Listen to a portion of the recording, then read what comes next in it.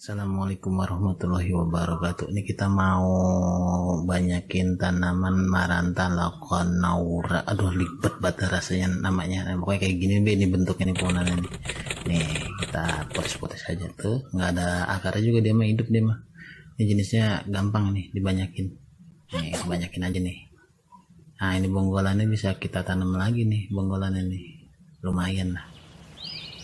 Ada 9 bonggolan nih kita pengen tahu aja nih jadi berapa pohon nih kita cacak-cacak nih. Oh iya jangan lupa juga berdoa iya iya berdoa penting nggak mau usaha dah penting mah kita rajin deh pasti ada hasilnya dah. Nah, ini kita tanam lagi nih di pot. Nah kita isi aja nih medianya nih setengah pot nih. Nah tuh setengah pot aja banyak banyak nah tuh segitu tuh. Udah cemplungin eh cemplungin eh kita pendem nih tanya nih bonggolannya nih itu akar-akar jangan sampai kelihatan kasihan dia ntar malu.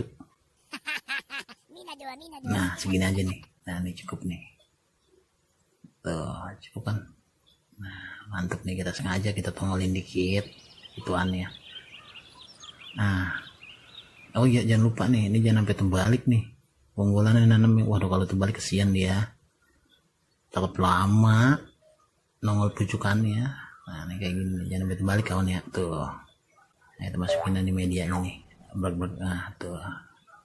Eh habis itu kalau udah selesai semua kita taruh dah nih tempat yang teduh. Jangan ditaruh langsung kena cahaya matahari. Waduh kering ntar dia. Nah, berarti nggak ada yang ketinggalan nih. Aman nih. Kita taruh nih ya. Tempat yang adem Nah, kita tahapan kita siram dah nih. Oh, siram cukup gitu ya kan siram untuk pertama bedah. Untuk penyiramannya tiga hari sekali cukup. Jangan terlalu seringan. Waduh, ntar genyeh dia jadi bubur. Nah, ini kita siram tuh kan banyak kan? Kita siram dah nih. Nah, kita hitung dapat berapa nih totalnya nih.